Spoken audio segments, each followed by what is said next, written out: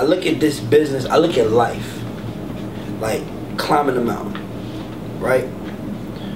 I'm climbing a mountain. Y'all climbing a mountain. She climbing. We all climbing the same mountain. Period. But I don't look up. When you're climbing a mountain, the one thing you can do is look up. That's the worst thing you can do. Look to the top. Because it's going to be so far away that you're to get discouraged. I climb, I, I literally look at life like one step at a time. That's why you said five years. Ain't a five year plan for me. Ain't a five year plan for anybody out here chasing their dreams. That's why it's called chasing your dreams. Shit, dreams turn into nightmares. It's no five year plan for this. L.A. Reid can have a five year plan. Why? Because he's made his history, made his money. Now you can say, yeah, five years I want to retire. I can't think like that because I haven't made my history yet. Tomorrow I might sign the greatest artist to ever live and then turn around and be Scooter Braun tomorrow. Or I might sign two terrible artists and turn around and be a dude that dude who used to work for Epic Records.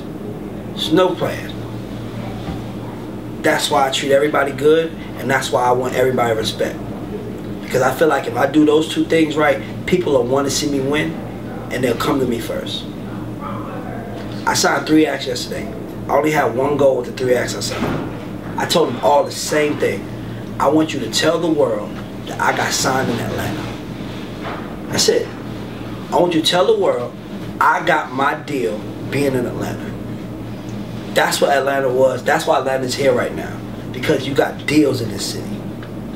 And the reason why we lost our way is because the deals went away from this city. I got I I, I haven't got my first paycheck from Epic. But I done signed three acts. Because that's more important to me than me getting paid. Is making sure that this city loves me and understands that that nigga is trying to bring us back.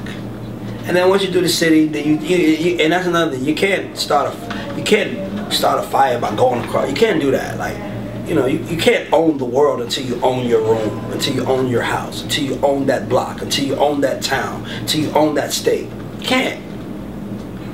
I'm my focus right now is very small but very big. I want my city to be back where it's supposed to be. Because this city is the soul that was sold. Ain't nothing black moving right now that this city ain't touched. Name it. Name it. It all starts. Black music is Atlanta. Black culture is Atlanta. All I want to do is make sure people understand that. If you want to get hot, if you want to get your soul back, come back to the city. I want the economy here to be booming. Then I might run for mayor. For real, who knows? But I know what I'm here to do. I just want to change the world.